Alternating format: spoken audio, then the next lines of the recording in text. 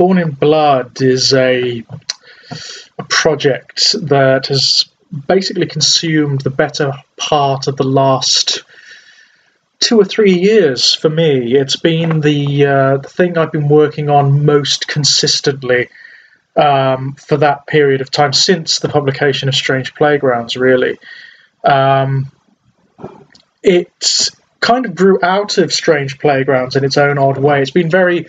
I hesitate to use the term because it's so cliche and it's so uh, uh poorly used generally, but in a very organic, natural way. Um, it came as a result of my interactions with the photographer Nick Hardy, who offered to do some promotional photographs for Strange Playgrounds, which are absolutely stunning. I turn. The light loves me. The shade even more. They play and pool, flutter over me, only their touch worthy. So many others, begging the same, with their scented letters, poems, pictures, one, he sends me photographs of mutilation, his tongue, his neck, his genitals, sometimes sequences, playing like broken films across the plastic. Beyond it, every slice, every spurt, moan, and scream. Others send me packets of their blood, shed hair, and scraped off skin. One, a pair of lips, an eyeball, a pierced tongue. I had them preserved, set in crystal, so that I could admire them and count myself blessed, beautiful enough to warrant such sacrifices. I never touched them, never let them touch me. Only the light, the shadow, not even the ones who made me know it, not since the first spurts that made me what I am. Maybe I will, when the towers fall, when worship stops, when the cries and prayers from below my balcony fall silent. Until then, I can look step out into the air, see myself painted and reframed in a thousand different configurations, strung throughout the city, every face a slice of my soul, some animated, snippets of motion stolen in time, some clothed, some nearly naked, a taste, an echo of some neon heaven. What if they saw me now? Saw me split, stretch, and peel. The discarded skins my eyeless ones come to clear away, those who cannot see, cannot speak, having given up the capacity just to be near me. I make them eat it sometimes, coo at them, praise them for being brave, for being so good. They do it because they have nothing else. Everything, everything given.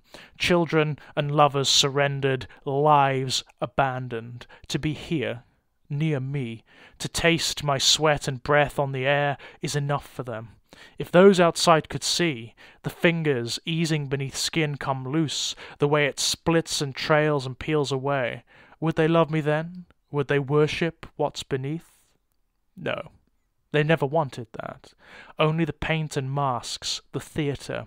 So long as I'm beautiful, they'll continue to sing and worship, so long as the illusion sustains. I might as well not be real at all, a painted doll, a hologram. But I am. The blood, the borrowed skin, stinking, rotten beneath. I am real. Maybe I'll show them, today or tomorrow. Maybe I'll walk out onto my balcony, truly naked, let them see the shit and rot they've made their goddess. Maybe some will even still love me, but they'll be of a different church. Not the ones who love light and plastic, the ones who walk in neon, who send me photographs of themselves painted and pierced and mutilating themselves. No. They'll be the ones already mutilated, the half born things and living abortions, flushed down the drain before they can squeal their first breaths, the deformed, the derelict, the broken minded, my true church, my children. As for the rest, the ones who think they know heaven in the glow of my billboards and holograms, who believe the lie of love my eyes tell from the pages of catalogues and fashion magazines, what if they saw me now? Uh, it's so so beautiful. The images he created, um, based on the short stories in Strange Playgrounds, are phenomenal and inspiring in and of themselves. They sort of he has that unique quality that a lot of really great imagists or imaginers do, whereby they suggest wider narrative beyond the image somehow, beyond the frames of the image. You can looking at the the pictures, you immediately start to put together back mythologies and narratives that are going on behind them or around them. It's it's like he captures parts or isolated moments within stories that suggest wider narrative. It's it's a fabulous quality. Um, and he produced so so many images, more than I even knew what to do with, to be quite frank. Um, and he came up with the the notion of maybe perhaps collaborating on something, on putting these images together with initially all he asked for were one or two sentences or paragraphs to go with each image. Um, but that didn't really uh, pan out as such but largely because of my own proclivities. I went at the minute i started looking at the, the, the huge array of images that he'd created and was still creating um, and started putting pen to paper it spiraled out of all control. And before I knew it, I had sheaths and piles and folders full of not just scraps and paragraphs and sentences, but whole short stories. Break it open, you idiot. Carve your own way. I've tried already a hundred times. I can't. Liar. You've never tried. Never once. Look! Look at my hands, my face. I've tried so many times. No. You tell yourself that because it makes you feel better, that you're worth more than this. Shut up, this stink. Shut up, this blood. Shut up, this life. Look, look at the walls, the floor. You see that? That's you, my beloved, my sweet. What more can I do? Look at me! I don't want to. I know, remember. That was the deal. Together forever. Knowing what we know, feeling what we feel. You can't lie to me like you do to yourself. I see, sweetheart. Oh, yes, I see. Leave me alone. Giving up so soon? How sad. How pathetic. No wonder they left you here. They didn't. You know that. They all, what? Died? Did they really? I find the memory fuzzy, don't you? Stop. I don't remember. No, of course you don't. You never wanted to, but I do. Remember Cecile? No, shut up. Anything left of her around here? Maybe painted on the walls, strung from the ceiling? No? Hard to tell, isn't it? You lose so much when stripped down to your meat. Sex, race, species, nothing matters. Shut up! I can't, sweetheart. Not now. Not if we want to survive. I'm trying to help you, though fuck if you appreciate it. Help me? How? No one can help me, least of all you.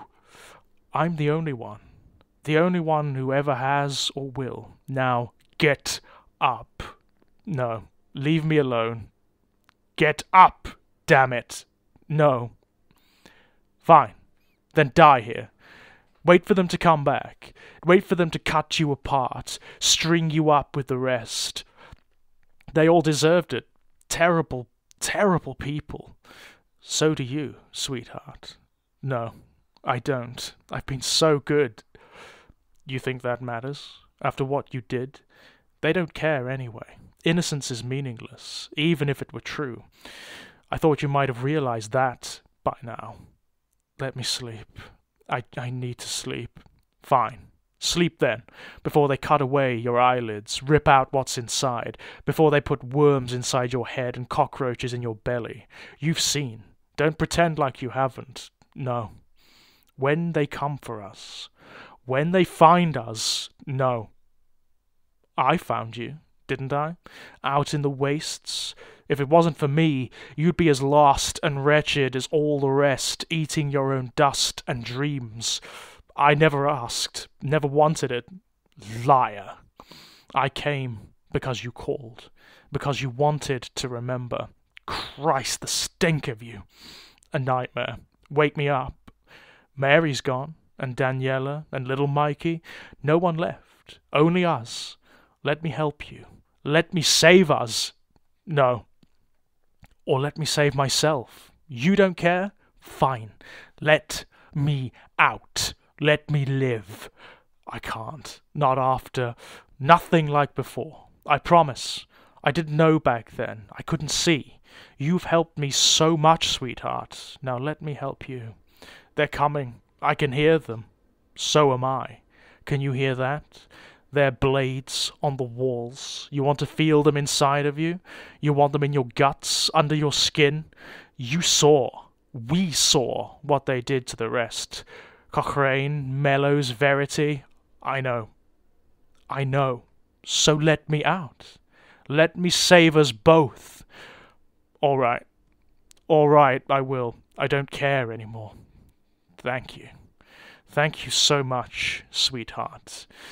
They come. Machines in the walls, whirring, whining, rusted wheels sputtering circuits, the cell door grinding open. Time was, my friend, the one whose skin I wear, would have cowered away, terrified. Not any more. Oh, he screams, constantly, but not because of them. What can they do? Only what flesh and thought can endure. I, I've shown him things in these brief few moments, things that he thought were nothing but dark dreams, that I've done while he slept and whimpered in the depths of our shared skull, things that even our jailers have never seen or dreamed of a stink, leather and sweat, meat and powdered bone, sweeteners layered synthetically over the foul, as though they bathe in vanilla, one of the grunting, pig squealing things sloping through the doors, its skin pierced by various hooks and ringlets, threaded with chains and fine silver thorns, its swollen belly and pendulous breasts naked as though to sport its mutilations. The mask it wears resembles something from a BDSM club, specializing in Halloween themes, leather, almost featureless, save for ragged holes at eyes and mouth, both bloody a clutch of rusted metal shards protruding from the left eye, a bizarre flower, pieced together from the ruined and discarded. In the meaty, swollen masses of its fists, the flesh seemingly melted and fused as though held in flame until meat and metal became one a meat hook, some sort of cleaver, but- butcher's implements, or surgeons. Vast, a man mountain, its blubber barely contained by skin stretched to bursting, by the leather wrapped around and woven throughout. Disgusting. Not the sight of it, nor the stink. The air around it, seething, a deeper corruption. Something that only another living nightmare might appreciate.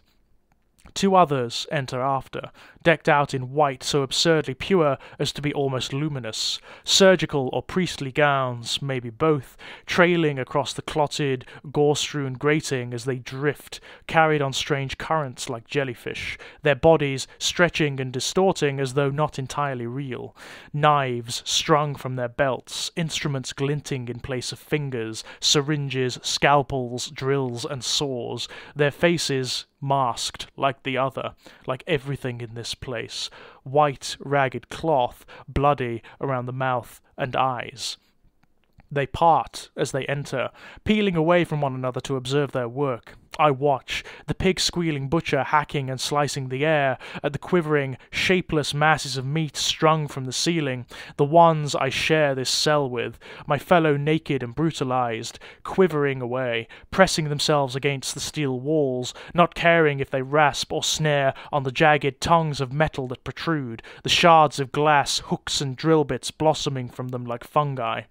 It finds one, Sylvia, I think, little mousy thing, trembling and all but silent until they go to work on her. Then, pleas in German and fractured English, promises, promises, everything from love to her own slavery, silenced only by her meat and blood, by whatever they force down her stretched white throat.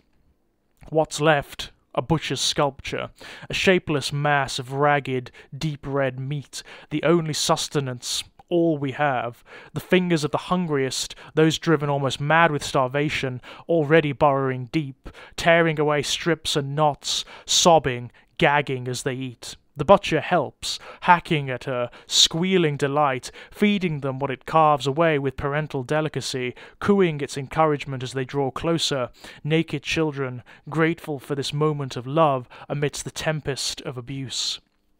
The other two, more considered, more delicate in their work, drifting amongst the squalid, the strung up, the naked, the flayed, the slit and suspended, those nailed to the walls, impaled on pulsing engines, the cowering, muttering, and mutilated, all still living, impossible though it seems. Delicate caresses, but more than enough to set them clamouring, those still capable of doing so. As for those that can't, silently suffering, shivering in their chains on their spits and spikes. They see, they know. My friend screaming at their attention, begging, pleading with them to make him the same, to set him up amongst the others, to cut me out. No. Oh no, sweetheart. Not the game. The butcher finds us first, staggering away from Sylvia, heaving, unsteadied, unsteadied by its exertions, eyes gleaming behind its mask, the eyes of one in love. I feel it, the affection, the lust. I've seen what it stirs at its crotch at work already a flower of flesh and fractured metal, of dog's teeth, of drill bits, the trauma it can wreak on its lovers from outside and in. The other two, the surgeons, too lost in their work. Otherwise, they might have warned it away until they've had a chance to taste for themselves. Christ, the stink of it! Enough to turn my friend's stomach. Not me. It's a child, an adolescent, rank with the racing of its own hormones, idiot attempts at seduction, so ridiculous, so naive. I look up, staring into its eyes, at the mouth behind the mask, lips peeled back and pinned, teeth permanently exposed, a tongue protruding, elaborately scarred and pierced, licking over the leather, grunts, a pig scenting truffles. Its butcher's blade falls, its fused together fist tearing open like a placental sac, something flowering before its term, the instrument clattering to the gore encrusted grating. An instant, a heartbeat, the blade in our hands, the thing so still as though awaiting us, inviting our violence. Only he screams, my friend, buried deep barely a grunt as its bloated belly parts, cleaved like butter, the serrated blade carving down and across, making a flower of it. It staggers back, the blade tearing free, clutching, staring down at itself as it spills. Black tar, octopus ink, what slopes from inside knotting and writhing, entrails of great pale worms, of pulsing bag bodied mollusks married to whirring machinery, devices grafted in place of what its makers tore out. It looks up at me, eyes swimming with delight. My friend, screaming and screaming and screaming. The others see, their surgeries disrupted, drifting through the haze of blood, the fog of pain, calling to me, their voices shattering glass in my ears, inside my head. I wait for them, though he begs me not to. Nothing but an echo of old terror, the child that haunts my memory. As always, I will drag him, kicking and screaming, and after the blood, after the tears, he will thank me. A reaching hand, a caress intended for our cheek. Instead, I catch it by the wrist, dragging the surgeon away from its sibling, its sighs waxing to mournful squeals as I take its head and smash it against the rent and ruptured wall, again and again. It shudders, limbs flailing like a spider's, a faint trilling from somewhere inside its split and seeping anatomy, the smears it leaves against the shredded metal white as milk, clattering fragments, as though it is filled with broken mirror or ill-cut clockwork, glittering, winged things taking flight, filling the air with their ragged edges, their bloody trails. The others, the ones who woke here with me, strung up, cowering, naked and bleeding, scream, shrieking for me to stop, to shield them. I can't. I won't. The swarms already upon them, severing arteries, rupturing eyes, slicing them open, so deep, so deep. My playmate's brother drifts, eyes on us both, its smile delirious. I smile with it, waiting. It doesn't come, doesn't try to save its twin, skimming slowly towards the door. Oh no. Oh no, my love. Too fast, too fast by far, reaching not with hands and fingers, but thought. He knows, my friend, the ghost of who I was, has always known, somewhere deep, denied, the capacities that he's never exercised, that he's never dared contemplate for fear of being condemned, of being called mad, the same that opened the way to the wastes beyond these walls, that he calls the forgetting, that fermented me in the depths, the mires, where forbidden longings and sublimated and sublimated fantasies linger, withering or swelling, growing fat in incestuous rape and cannibal consummation. My cradle, my womb. Lashes of pure intent, snaring around the surgeon's throat, dragging it back through the storm of red and silver butterflies erupting from its sibling's shattered body. So fragile, so fragile, futile. A voice in our head, rending apart thought, that of a child, singing through a, th- a throat full of blood and bone shards. What? I can't hear. This is futile. We are forever. You cannot. I tighten my hold, pearlescent milk bleeding from where my lash breaks its skin. Perhaps. Or perhaps that's what you were sent to us. That's why you were sent to us, so your master can see what we're capable of. I turn my eyes to the ceiling, to the living fixtures that dangle and twitch there, the unseen eyes that blossom amongst them. I hope you're paying attention. Then I go to work, coaxing such songs as even these ragged angels have never sung. Um, so many that it became bizarrely intimidating.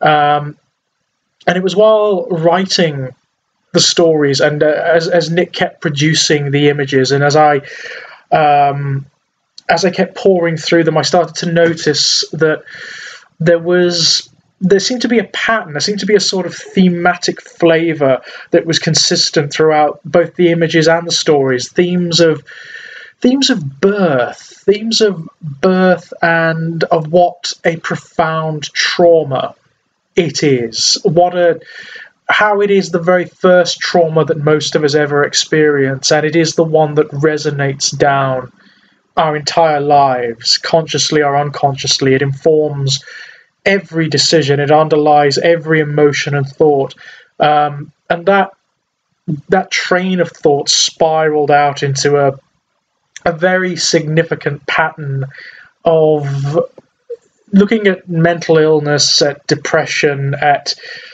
the underlying factors that inform our subconscious and how we operate with reference to them all the time, even though we don't know we do.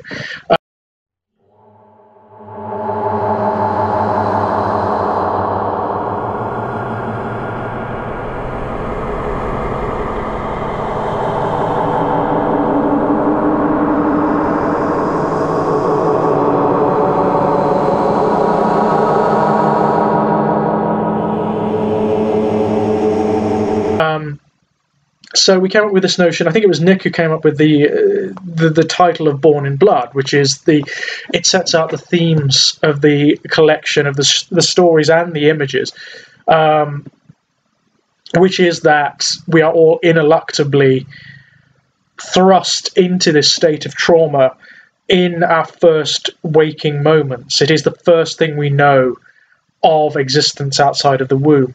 Um, it is pain and confusion and suffering and torment, um, you know, gasping for the first breath, um, bullied into taking it in certain, I mean, even even abused into taking it in certain respects, you know, um, complete choking on our own mother's filth. I mean, it's it's a it's a fascinating and extremely dark um, almost misanthropic notion.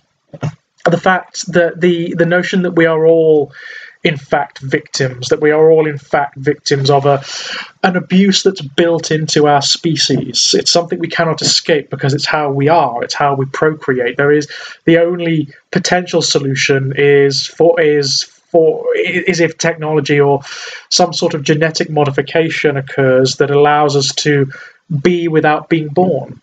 What we grow accustomed to, what we can endure. The days bleed into one another as we do, hurt defining every moment. No more. Now all instants are one. Pulsing brilliant, ecstasy and agony rendered down, experienced in a heartbeat. Every shame, every sorrow, humanity, history. This is what we are, the God we gave birth to. Better? Yes. Yes. Now we all suffer the same. No more divisions, no privilege or powerlessness. We are the same. Sexless, skinless, exsanguine. And we celebrate, content in our disgrace. Uh, which would fundamentally change the nature of humanity in certain respects. It's um, it's a dark concept. It's a dark notion. It's a dark train of thought. It has certain elements of antinatalism to it, although that's not a a philosophy I entirely subscribe to. There are nuances within it that tend to be um, that tend to be overlooked or dismissed out of hand without due consideration.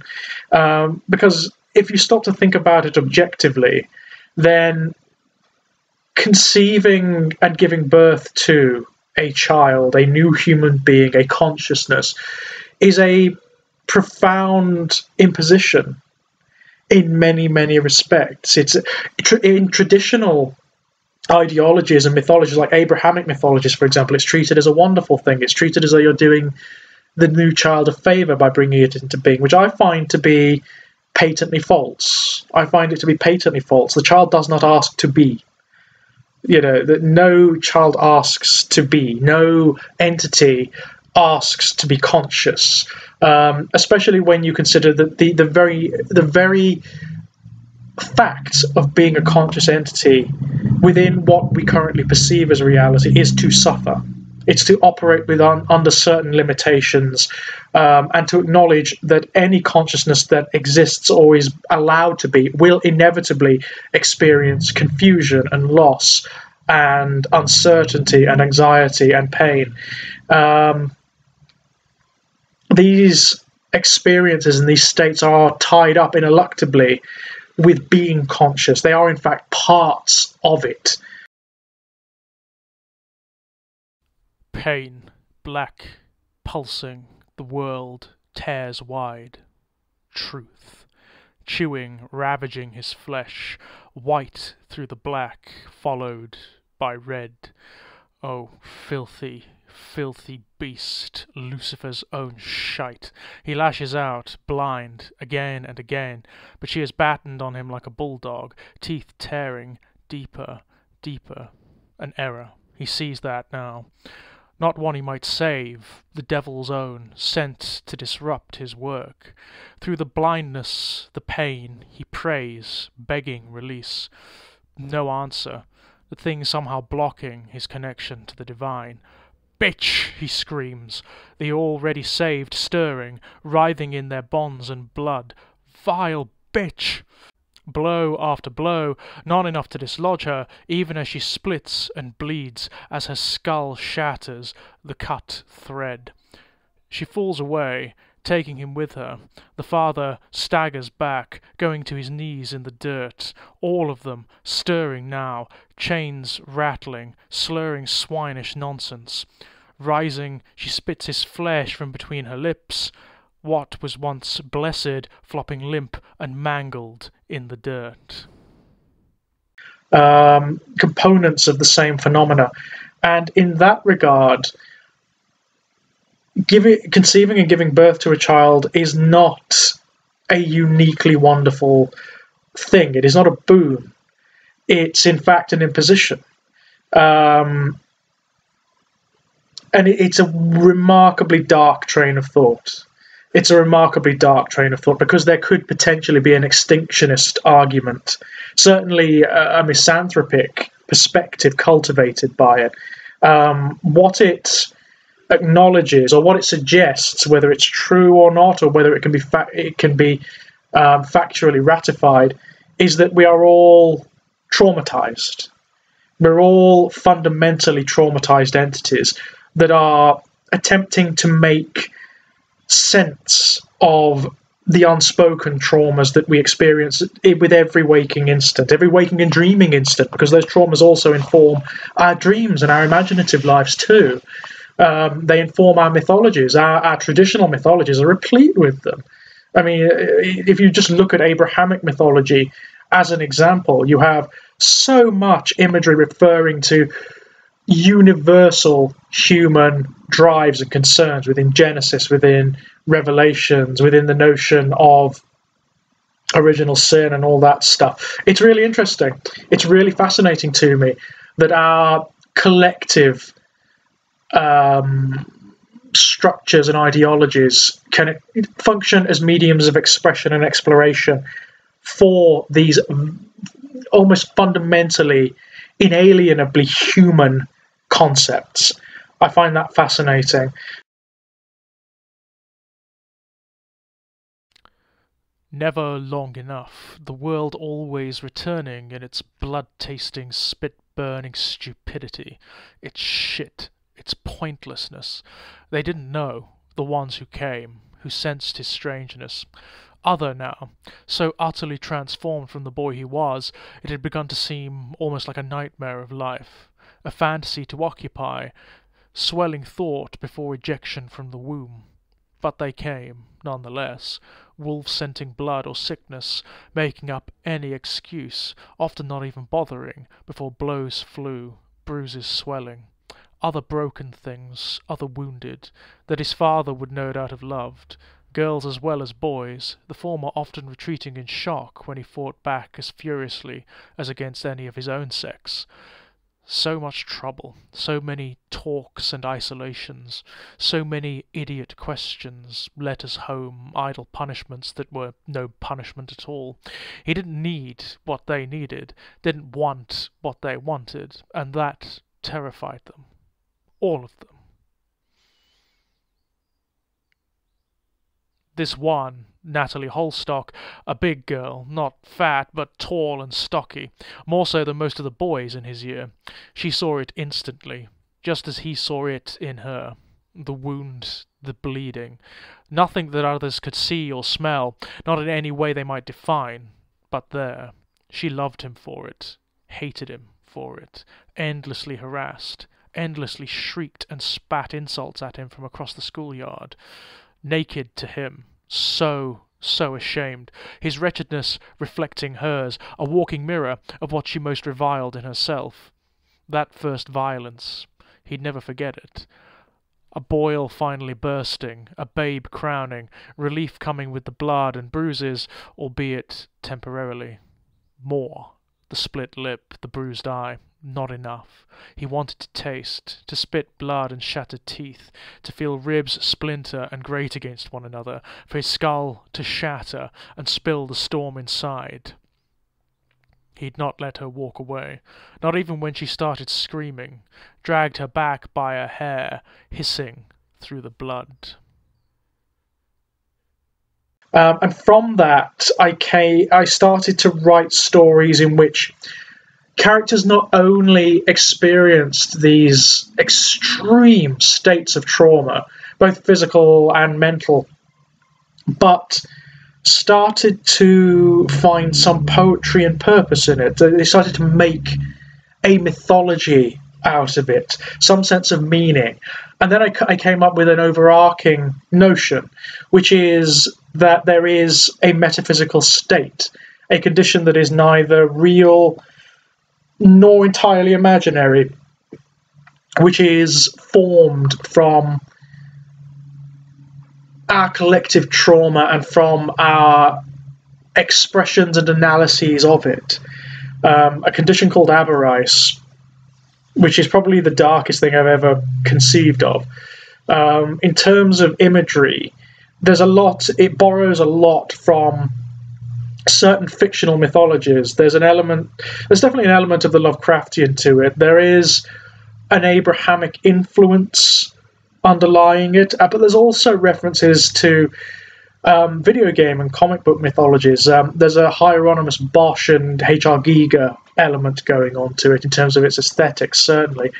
Um, it pays certain homage to um, a concept that occurs in an old video game, a relatively old video game, one of my favourites now, which is largely forgotten, um, Shadow Man from the uh, the early 32-bit era, which has this wonderfully nihilistic and moribund metaphysics to it, um, in which everybody goes to the same place when they die, without exception. It doesn't matter what you believe. It doesn't matter what you um, what you do. It doesn't matter how you act. There's no moral dimension to it. You all go to the same place, and this place is awful. It's hideous. It is, um, as the Shadow Man himself puts it, the asshole of the universe. It is a, a wasteland. It's a metaphysical wasteland. And in that wasteland is a structure called the Asylum. Um, and the Asylum is it's kind of one part Victorian insane asylum to another part bizarre, horrific surgery to a, another nursery. It's a, it's just a very weird and bizarre concept, and those elements and images all went into making Aberice. Aberice incorporates a lot of those notions and then goes deeper with them. Uh, it it's it explores them in minute detail. Um, so what the book provides it's it's a collection of short stories, uh, some of which are longer than others, but which are interlinked by an overarching narrative and an overarching mythology which resolves to a certain degree. Um, there is a running narrative throughout the entire collection, which is tied up to a degree in the last story. Um, it's a metaphysics that is not entirely despairing, despite what its constituents um, might suggest. It's not entirely despairing. There is something to be said for the mythology, for the the state of being that it provides. There is a Uh, an element of Hellraiser as well in this. I mean, Leviathan's hell in the Hellraiser mythologies is something that has always snared my imagination, but which I don't think they go far enough with. Which is one of my, which was definitely one of my motivating factors for this. I wanted to take a concept a little like that, where there is poetry and purpose and even metaphysics in extreme suffering, in mutilation and pain and despair, but which can become a cause of celebration, which can lend a certain degree of meaning and poetry to one's existence and become something that one aspires to, or a state of extremity that one wishes to explore. Born to cancer born to mutilation, a universe slowly bleeding out, shriveling around them, the angels wanted him to see. Charged his father to make the means, only he could, an attuned mind, a blood that sang at particular pitch and frequency, a hereditary influence that they scented, that they heard like music, in him now their ecstasy at his presence trembling throughout their bodies, through the fingers that they reached inside, that they sliced and plucked and reconfigured him with. Pain. Pain unlike anything, blinding white, black and pulsing, seeping red, a continuation of the same symphony they'd inspired when they sang to his father, when they called to the children who had been born of the blood, the same that the engine required, that others had seeded throughout humanity in various lines and legacies, pain that transformed, transcended, redefined.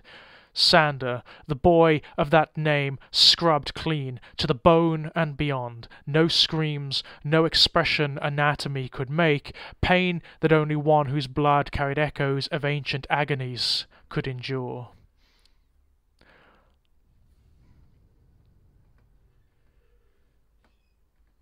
I find that really interesting. I, I don't think the the Hellraiser stories go far enough with it myself, um, and they're not ambiguous enough with it. It's always presented as a negative thing or something to be escaped from or defeated, which is it's not necessarily something that interests me. I'm interested in why it's attractive.